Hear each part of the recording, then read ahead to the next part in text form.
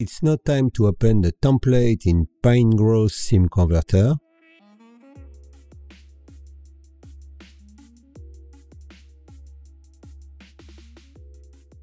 First, I have to enter the theme setting, like the theme name and the theme slug.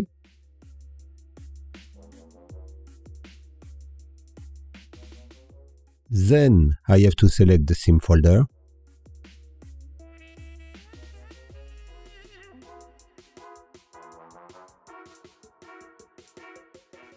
The same URL, which is the one from my local WordPress.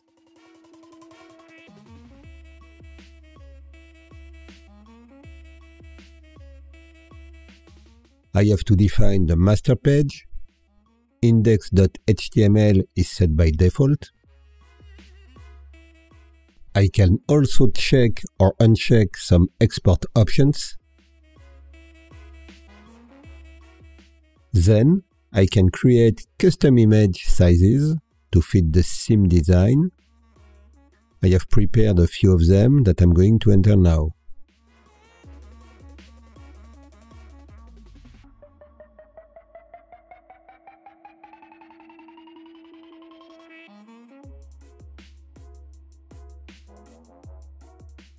Now I can save the settings, then save the project.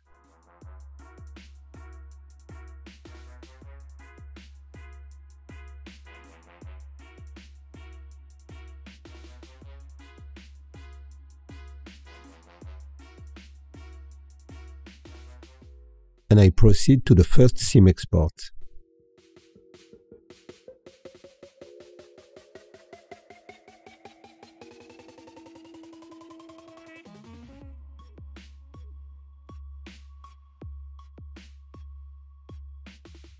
Oops, I forgot to set a theme screenshot, so I do it now.